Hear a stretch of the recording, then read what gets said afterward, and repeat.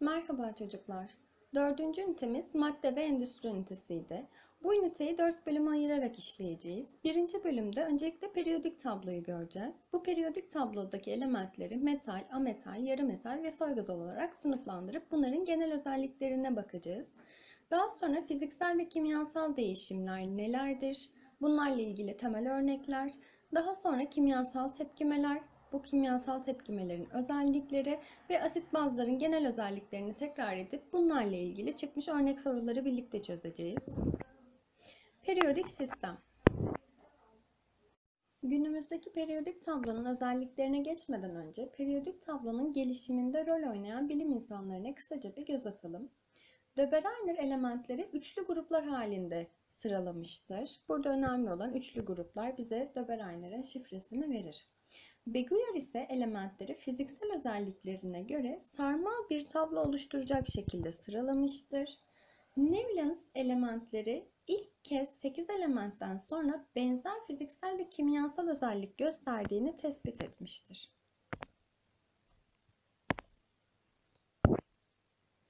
Mendeleev ise günümüzdeki periyodik tablonun temellerini atan bilim insanı olarak bilinir. Mendeleev elementleri atom ağırlıklarını dikkate alarak sıralamıştır. Meyer, Mendeleev'le aynı şekilde sıralamıştır elementleri fakat Meyer elementleri atom ağırlığına göre değil fiziksel özelliklerine göre sıralamıştır. Moseley ise günümüzdeki periyodik tablonun kurucusu olarak bilinir. Elementleri artan proton sayısına göre sıralamıştır. Burada proton sayısı önemli.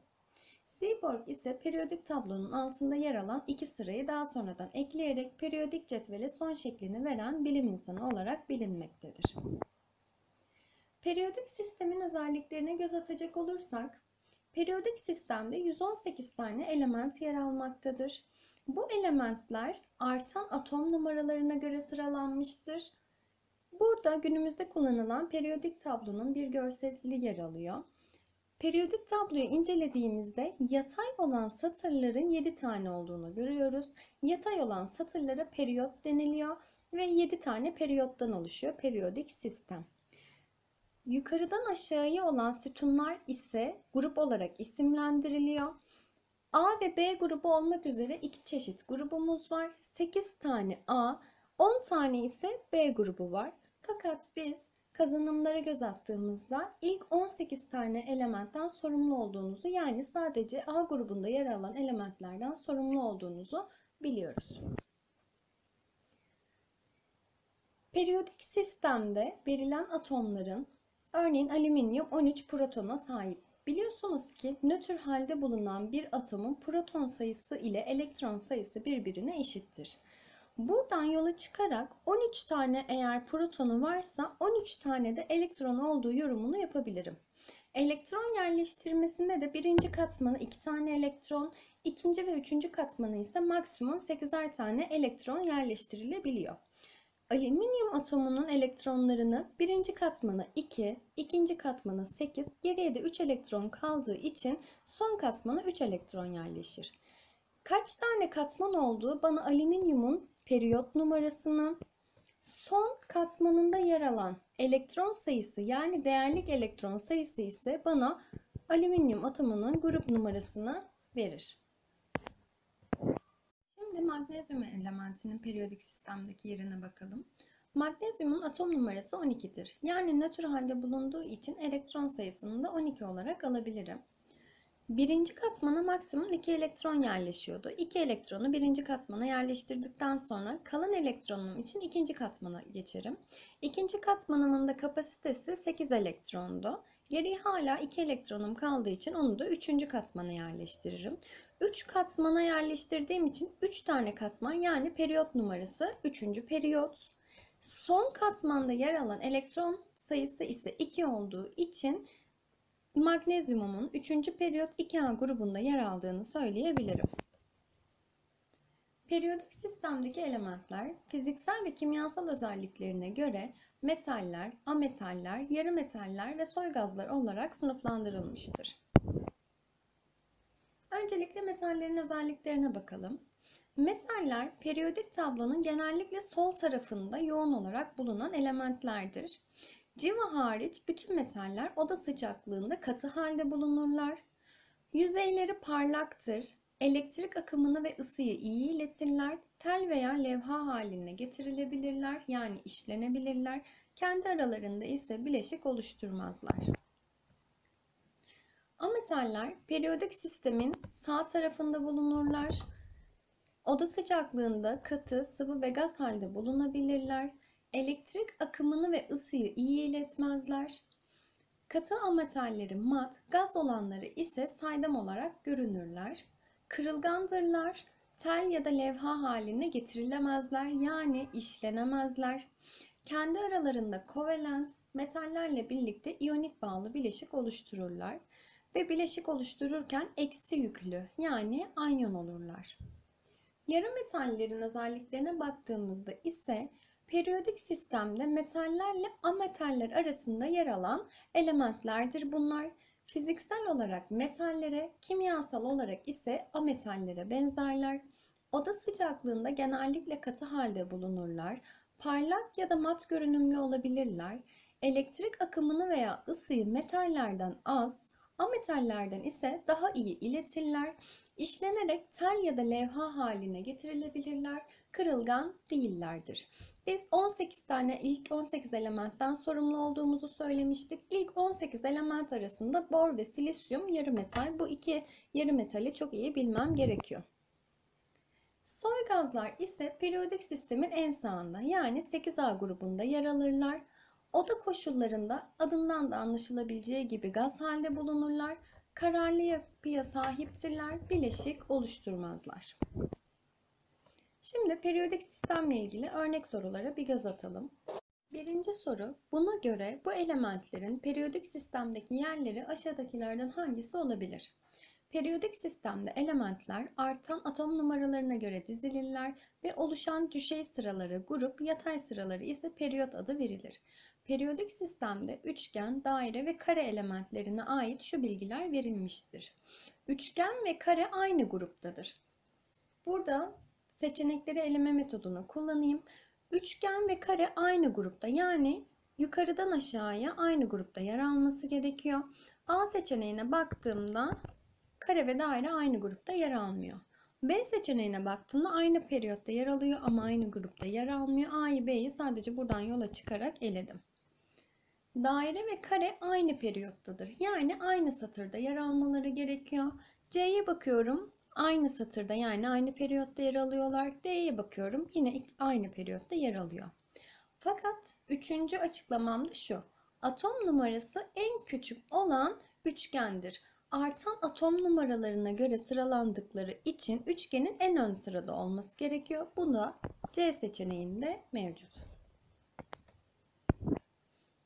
İkinci soruya geçiyorum. Periyodik sistemle ilgili yapılan çalışmaların bir bölümünün verildiği yukarıdaki metne göre hangisi söylenemez? Aşağıda günümüzde kullanılan periyodik çizelgeye ait bir kesit verilmiştir. Günümüzde kullanılan periyodik sistem Mendeleyev'in atom kütlelerini esas alarak oluşturduğu sistemden farklıdır. Eğer elementler Mendeleyev'in dediği gibi artan atom kütlelerine göre sıralanacak olsaydı argon günümüzdeki periyodik çizelgede potasyumun olduğu yerde olmalıydı. Çünkü argonun kütlesi potasyumunkinden daha büyüktür. Ancak Mendeleyev'in ardından Moseley'in yaptığı çalışmalar elementlerde gözlenen periyodikliğin temelinde atom kütlesinden farklı bir özelliğin olduğunu göstermiş ve elementlerin sınıflandırılması günümüzde kullanılan halini almıştır. Günümüzde kullanılan periyodik çizelgede elementler artan atom numaralarına veya proton sayılarına göre dizilmiş ve benzer özellik gösteren elementler aynı gruplarda sıralanmıştır. Yukarıda verilen paragrafa göre hangisi söylenemez diye soruyordu. A'ya bakıyorum. Günümüzde kullanılan periyodik çizelgede elementler artan atom numaralarına göre sıralanmıştır. Birinci seçeneğim doğru. B'ye geçiyorum. Moseley'e göre elementler atomlarının proton sayılarına göre sıralandığında benzer özellikler periyodik olarak tekrarlanır. Yine bu da doğru. C'ye bakıyorum. Mendeleyev oluşturduğu sistemde bazı elementleri olması gereken gruplara yerleştirememiştir. Burada da potasyum örneğini verdiği gibi. D'ye bakıyorum. Elementlerin günümüzdeki şekilde sınıflandırılabilmesi için atom kütlelerinin bilinmesi yeterlidir diyor. Hayır, atom numaraları gerekiyor. O yüzden cevabım D seçeneği. İkinci bölüm fiziksel ve kimyasal değişimler. Öncelikle bunların genel özelliklerine bakalım. Fiziksel değişimler. Maddenin dış görünüşünde meydana gelen değişimler fiziksel değişim olarak adlandırılır. Maddenin parçalanması, ufalanması, çözünmesi ya da hal değişimi gibi olaylar fiziksel değişime örnektir. Fiziksel değişmede tanecikler arası mesafe değişebilir ama tanecik yapısında bir değişiklik olmaz. Buradaki örneği incelediğimizde tanecikler arasındaki mesafenin arttığını gözlemlemekteyiz. Fakat taneciklerin yapısında herhangi bir değişiklik olmadığı için bu fiziksel değişmenin model olarak gösterilmesidir. Fiziksel değişim örneklere bakalım. Camın kırılması, kağıdın yırtılması, suyun buharlaşması, demirin erimesi, odunun talaş haline getirilmesi, şekerin suda çözünmesi, mumun erimesi, suyun donması. Bunlar günlük hayatımızda karşılaştığımız fiziksel değişime örnek olan olaylar. Maddenin iç yapısında meydana gelen değişimler ise kimyasal değişim olarak adlandırılır. Kimyasal değişimde madde yeni bir kimlik kazanır. Yani farklı özellikte yeni bir madde oluşur. Yanma, ekşime, çürüme, paslanma gibi kimyasal olaylar gerçekleşirken renk değişimi, gaz çıkışı, çökelti oluşumu, ısı ve ışık yayılması gibi durumlarda gözlenebilir. Kimyasal değişimi örnekleri inceleyelim. Odunun yanması, elmanın çürümesi, kağıdın yanması, demirin paslanması, sütün mayalanarak yoğurda dönüşmesi, yumurtanın haşlanması, yaprakların sararması, mumun yanması günlük hayatta karşılaştığımız kimyasal değişime örnek olan olaylar arasındadır. Üçüncü bölüm kimyasal tepkimeler. Maddenin iç yapısının değiştiği kimyasal değişim sürecine kimyasal tepkime denir. Kimyasal tepkimeler denklemle gösterilir. Burada verilen denklemi incelediğimizde hidrojen ve oksijen tepkimeye girenler, H2O yani su ise tepkimeden çıkan yani üründür.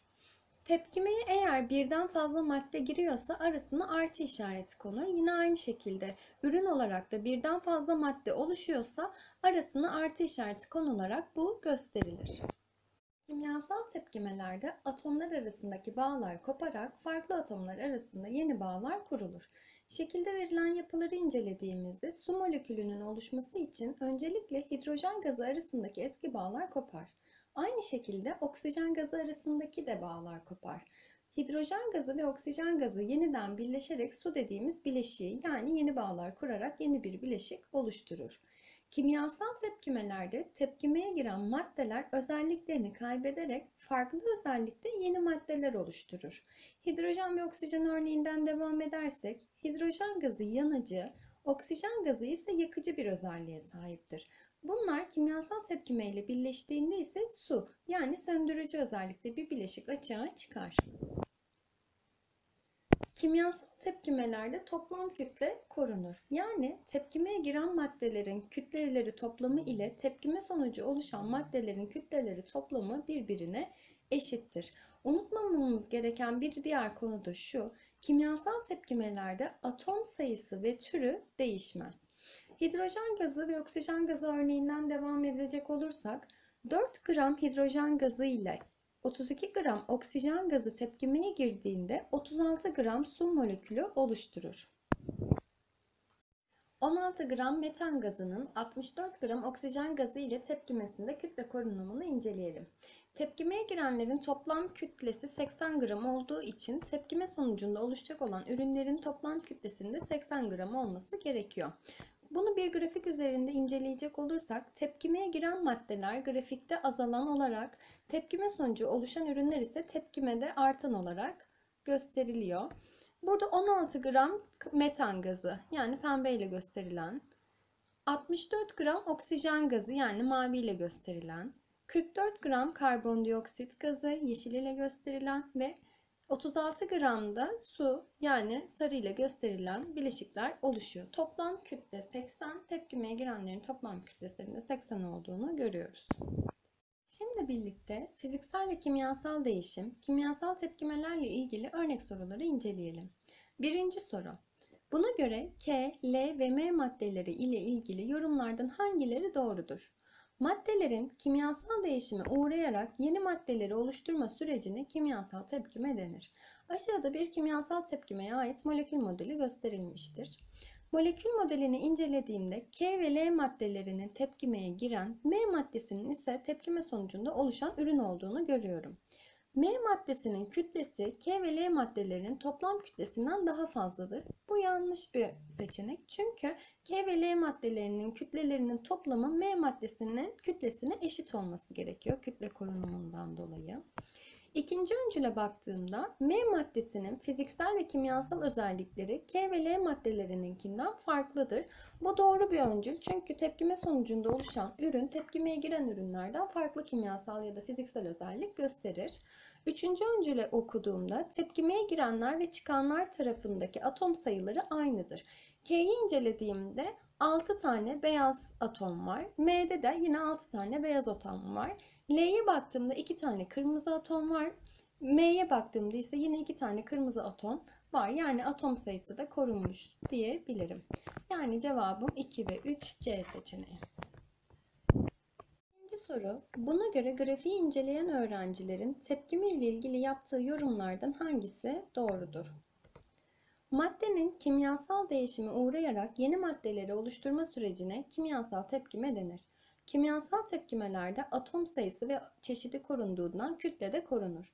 Öğretmen kapalı bir kapta gerçekleştirdiği kimyasal bir tepkime sonunda K, L, M katılarının ve N gazının kütlelerinde oluşan değişimi aşağıdaki kütle zaman grafiğini çizerek öğrencilerine göstermiştir. Şimdi kütle zaman grafiğini incelediğimde azalan maddelerin K ve L olduğunu yani o zaman K ve L maddelerin tepkimeye girenleri gösteriyor bana.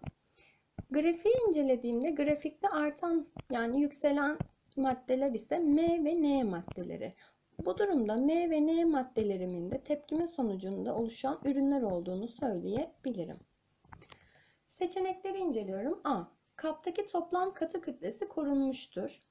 Toplam katı kütlesi korunmamıştır. Çünkü K ve L evet katı ama bunun sonucunda oluşan M katısı ve N gazı var.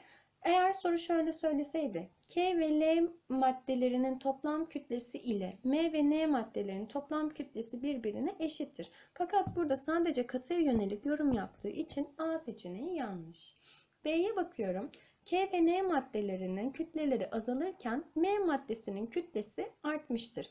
K maddesinin evet kütlesi azalıyor ama N maddesinin kütlesi artıyor. O yüzden bu seçeneğim de yanlış. C seçeneğine bakıyorum. K ve L maddeleri biterken M ve N maddeleri oluşmuştur. Bu zaten ürünler olduğunu söylemiştik. O zaman C seçeneği doğru. D'ye de bakalım. M maddesinin kütlesi K ve L maddelerinin kütleleri toplamına eşittir diyor. Hayır sadece M maddesinin kütlesi değil M ve N maddelerinin toplam kütlesi K ve L maddelerinin toplam kütlesine eşittir diyebilirim. Üçüncü soru. Lavoisier'in yaptığı bu deneyden hareketle genellemelerinden hangileri yapılamaz? 1774 yılında gerçekleştirdiği deneyde bir miktar kalay ve bir miktar hava içeren cam bolunun ağzını sıkıca kapatmış ve tartmıştır. Ardından cam balonu ısıtmış ve kalayın tebeşir tozuna benzer bir toz oluşturduğunu gözlemlemiştir. Isıtma işleminden sonra cam balonu aynı koşullarda tekrar tarttığında kütlenin ilk ölçüm sonucuyla aynı olduğunu gözlemlemiştir. Şimdi bu deney zaten kütle korunumunu açıklayan bir deney. Öncüllere bakalım. Kimyasal tepkimeye giren maddelerin atom çeşidi sayısı oluşan ürünün atom çeşidi sayısından farklıdır. Ben bu deneye bakarak böyle bir yorumda bulunamam. Çünkü atom çeşitliliği ile ilgili herhangi bir bilgi verilmiyor. İkincisine bakıyorum. Kimyasal tepkimelerde oluşan ürünlerin kütleleri toplamı tepkimeye girenlerin kütleleri toplamına eşittir. Bu doğru bir bilgi. Üçüncüsüne bakıyorum. Kimyasal tepkimeler sonucunda bir madde yoktan var olmaz. Var olan madde de yok olmaz diyor. Yine bu da doğru bir bilgi. Yapılamaz dediği için cevabım yalnız bir yani A seçeneği. Dördüncü soruya geçelim. Fiziksel ve kimyasal değişimle ilgili bir soru. Uygulanan işlemlerden kimyasal değişime neden olanlar boyandığında aşağıdaki seçeneklerden hangisi elde edilir demiş. Kimyasal değişim maddenin yapısını değiştirerek yeni maddeler oluşmasıdır. Fiziksel değişim maddenin yalnız görünüşünde meydana gelen değişimlerdir diye de tanımlarını vermiş. Aşağıdaki tabloda kağıt, patates, gümüş ve limona uygulanan bazı işlemler karşılarında belirtilmiştir. Kimyasal değişimle ilgili olanları biz de boyayalım bakalım. Kağıt yakılması kimyasal değişime sebep olur. Buruşturulması ise fiziksel değişime sebep olur. Yırtılması da yine aynı şekilde fiziksel değişim. Patatesin kızartılması kimyasal değişim, cips yapılması yine kimyasal değişim, dilimlenmesi ise fiziksel değişim. Gümüşten tel yapılması fiziksel değişim ama gümüşün kararması kimyasal değişim, yüzük yapılması da yine fiziksel değişim.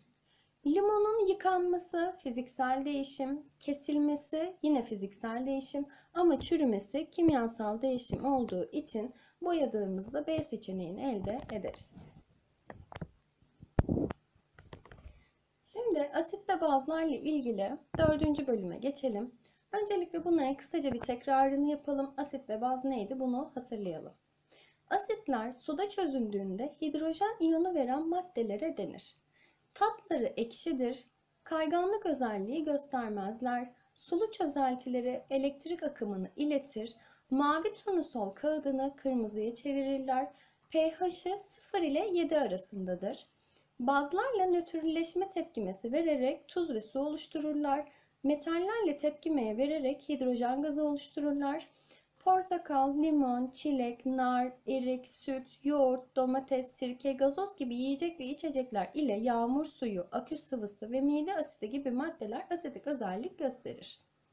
Bazlara baktığımızda suda çözündüğünde hidroksil iyonu veren maddelere baz denir. Tatları acıdır, ele kayganlık hissi verir. Sulu çözeltileri elektrik akımını iletir. Kırmızı, kırmızı turnusol kağıdını maviye çevirirler. pH'ı 7 ile 14 arasındadır. Asitlerle nötrleşme tepkimesi vererek tuz ve su oluştururlar. Örneklerini incelediğimizde sabun, şampuan, çamaşır suyu, amonyak gibi temizlik maddeleri ile diş macunu, kan, tükürük, mide ilacı, kabartma tozu, çikolata gibi maddeler bazik özellik gösterir. Asitleri ve bazları birbirinden ayırt etmek için kullanılan maddelere belirteç ya da ayraç denir. Turnusol kağıdı, fenolftalein, metil oranj belirteç olarak kullanılabilir. Asitler mavi turnusol kağıdını kırmızıya çevirirken bazılar ise kırmızı turnusol kağıdını maviye çevirirler. Bir asitin üzerine fenolftalein damlatıldığında renk değişimi gözlemlenmez. Ancak bazın üzerine damlatıldığında pembe ya da mor gibi renk değişimi olduğu gözlemlenebilir. Aynı şekilde asitin üzerine metil oranj damlatıldığında asitin kırmızı renk olduğunu, bazın ise sarı renk değişimi gösterdiği gözlenebilir. Maddelerin asitlik ya da bazlık derecesini belirlemek için geliştirilen ölçeği pH ölçeği denir pH ölçeği 14 birime ayrılmıştır. Bu birimler arasında 0-7 arasında olan maddeler asitik özellik, 7 ve 14 arasında olan maddeler bazik özellik gösterir. pH'i 7 olan maddeler ise nötr özellik gösterir. Burada 7'den 0'a doğru gidildikçe asitlik derecesi artarken 7'den 14'e doğru gidildikçe ise bazlık derecesi artar. Asit ve bazlar tahriş edici özelliği olan maddelerdir. Asitler metal ve mermerlerle, bazlar ise cam, porselen ve kristal eşyaların aşınmasına sebep olabilir. Şimdi asit ve bazlarla ilgili örnek soruları inceleyelim. Buna göre öğrencinin deneyde tabloya kaydettiği verilerin doğru etiketleme için yeterliliği ile ilgili aşağıdakilerden hangisi söylenebilir? Bir okuldaki malzeme dolabında özdeş kapalı cam şişelerde hidroklorik asit, sodyum hidroksit, sülfürik asit, sulu çözeltileri ve saf su bulunmaktadır. Ancak şişelerde hangi sıvının bulunduğunu belirten bir etiket yoktur. Asitlerin mavi turnusol kağıdını kırmızı, Bazıların ise kırmızı turnusol ka- kağıdını mavi renge dönüştürdüğünü bilen bir öğrenci şişelere doğru etiketleri yapıştırmak için deney yapıyor. Bu deneyde her şişeye ayrı bir kırmızı, bir mavi turnusol kağıdı daldırıp kağıtlardaki renk, renk değişimini tabloya kaydediyor. Şimdi birinci çözeltiyi incelediğimizde mavi turnusol kağıdını kırmızıya çevirdiğini, kırmızı turnusol kağıdını ise bir etki yapmadığını söyleyebiliriz. O zaman mavi turnusol kağıdını kırmızıya çeviriyorsa birinci çözeltim bir asit. İkinci çözeltime baktığımda ise mavi turnusol kağıdı mavi olarak, kırmızı turnusol kağıdı ise kırmızı olarak kaldı. Yani herhangi bir renk değişimi olmadığı için bu nötr. Üçüncü çözeltimi incelediğimde ise mavi turnusol kağıdımı kırmızı, kırmızı turnusol kağıdımda ise etki yapmadı. O zaman üçüncü çözeltim de bir asit. Dördüncü çözeltimi incelediğimde ise mavi turnusol kağıdı mavi olarak kalırken kırmızı turnusol kağıdının mavi renge dönüştüğünü görüyorum. O zaman kırmızı turnusol kağıdı maviye dönüşüyorsa dördüncü çözeltim de bazdır. Şimdi ben bunların asit ve baz olduğunu buldum. Fakat okuldaki malzemelere baktığımda iki tane asitim vardı. Biri hidroklorik asit, biri sülfürik asit.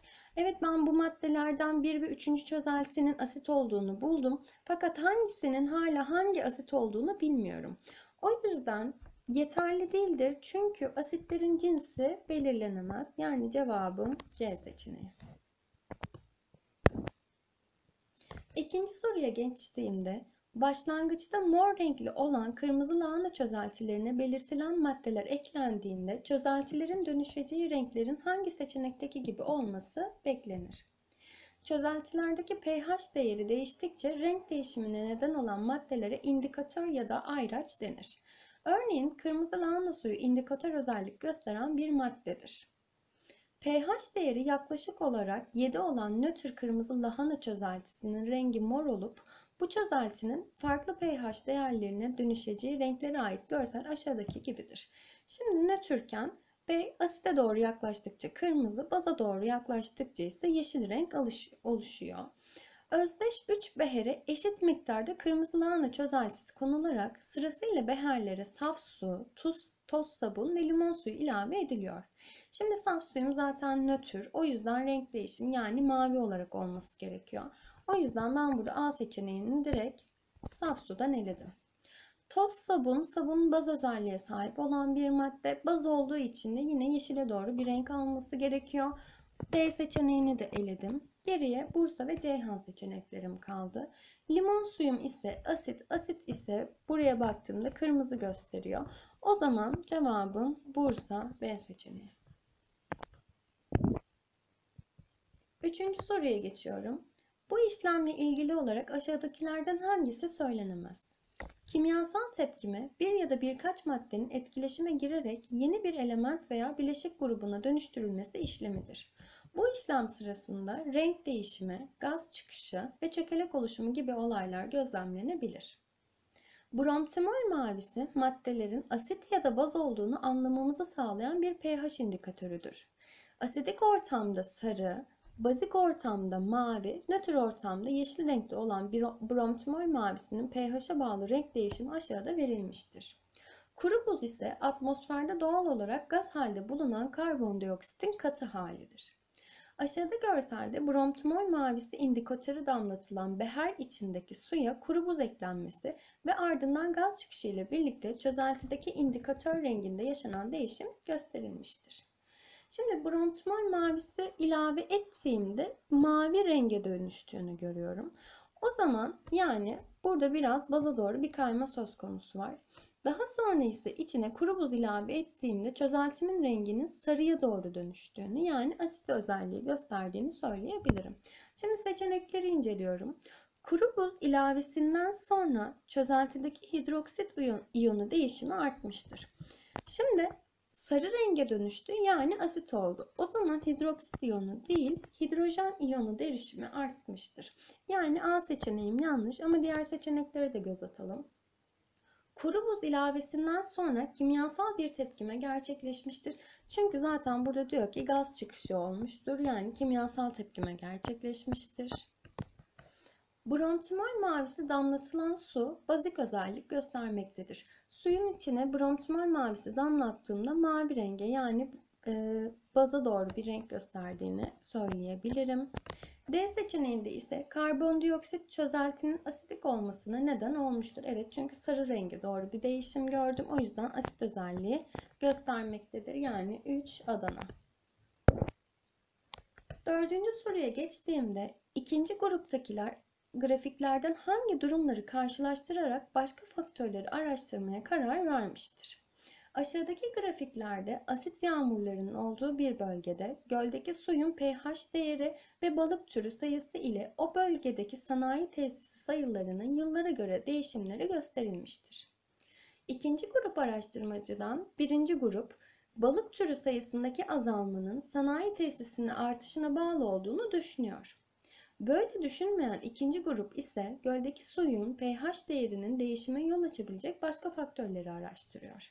Şimdi grafikleri incelediğimde öncelikle balık türü ve yıllar grafiğine baktığımda balık türü sayısının yıllara doğru sürekli azaldığını aynı şekilde pH değerlerinde sürekli azaldığını görüyorum.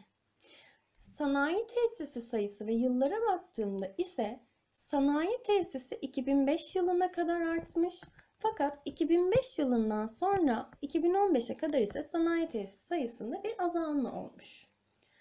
O zaman ikinci grup 2005 ve 2015 yılları arasındaki sanayi tesisi sayısı ve suyun pH değeri ile ilgili tek yeni bir araştırma yapmaya karar vermiş olabilir. Çünkü sanayi tesisi sayısı arttıkça evet balık türü azalıyor ama eğer böyle doğruysa sanayi tesisi sayısı azaldıkça balık türünün artması ya da pH'ının yükselmesi gibi bir durum söz konusu değil. Bu da ikinci gruptaki araştırmacıları yeni bir araştırmaya yönlendirmiş olabilir. Yani cevabım Denizli. LGS'de sorumlu olduğunuz birinci dönem konuları bu kadar. Sınavda hepinize başarılar dilerim. Umarım hepiniz emeğinizin karşılığını alırsınız. Hoşçakalın.